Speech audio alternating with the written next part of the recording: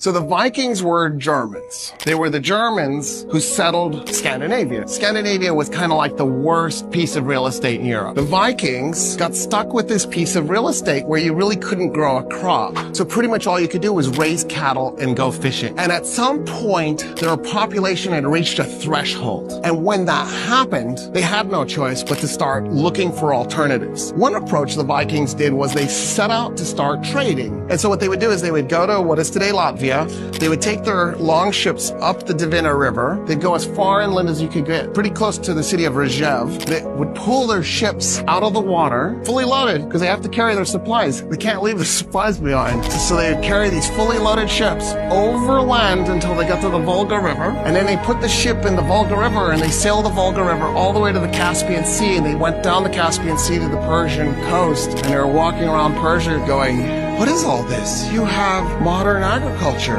and modern medicine, and you're doing philosophy, and you've invented zero, and you're doing algebra. And the Vikings are like, we, we don't even have a written language. And they began trading. Now, to supplement their trading on that long trade route, they would also raid.